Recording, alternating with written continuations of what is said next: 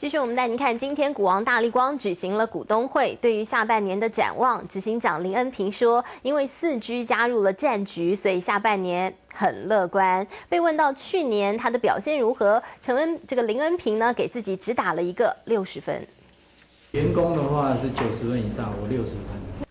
大力光执行长林恩平谦虚看待去年表现。其实股王去年大赚，股东会上董事长林恩洲也首次露面，林家兄弟共同主持，让股东会十五分钟之内火速结束。股东显然很满意，因为今年股利发放二十八点五块，创下上市以来最高纪录。展望下半年也很乐观。我所谓比较好，也是。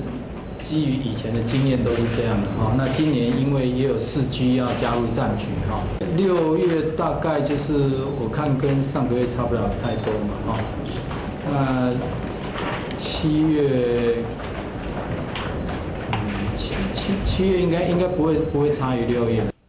手机话速越冲越高，也让大力光稳稳赚，在技术持续领先下，让外资一面倒看多大力光。巴黎证券目标价就喊到两千八百元，最低的德意志也有两千一百五十元。而秘密武器隐形眼镜也即将上阵。所有的里面所有的 technology 都是自己重新来过，应该会在第三季的时候会试量产，那第四季会正式量产。只是大力光老问题，没地盖新厂，无法扩产，而且工厂缺人，作业员底薪虽然只有二十四 K，但其实大力光光是作业员平均月薪就可以达到五万元，而且现金红利高达十七亿，等于每个员工都可以拿到五十七万。我们是制度就是每年二十 percent 的的 profit 哈，就是明年的 bonus。